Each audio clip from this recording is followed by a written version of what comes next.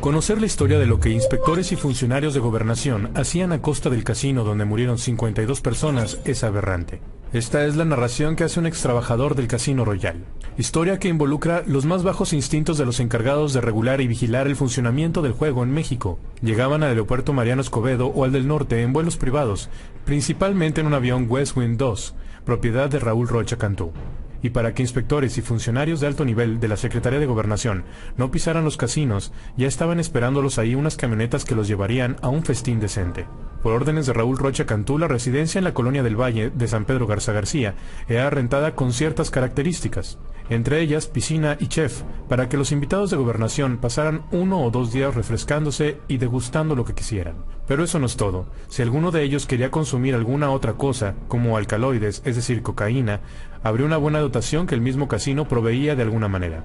Y para que todo fuera un festín, las órdenes de los socios de los casinos eran que también acudieran a la residencia de la colonia del Valle un grupo de prostitutas de primer nivel, es decir, supuestas escorts de Monterrey, que en realidad se prostituían. Llegaban apenas minutos después de que los funcionarios de gobernación habían arribado a la casona. Entre bebida, drogas, risas, chistes, acostones en las recámaras de la residencia y un chef cocinando lo que se les ocurriera, transcurría el día de los invitados especiales.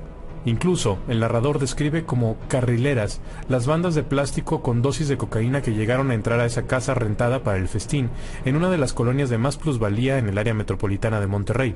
La idea es que todo el personal que llegaba de la Dirección de Juegos y Sorteos de Segov no tuviera que preocuparse por ningún asunto, entre ellos inspeccionar los centros de apuestas en Monterrey.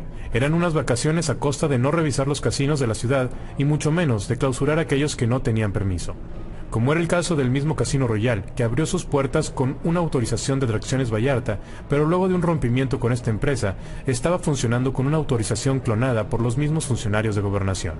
Ilegalidad y decadencia que permitió su funcionamiento hasta la trágica tarde del 25 de agosto de 2011, cuando murieron 52 personas en un incendio provocado por una célula de los Zetas.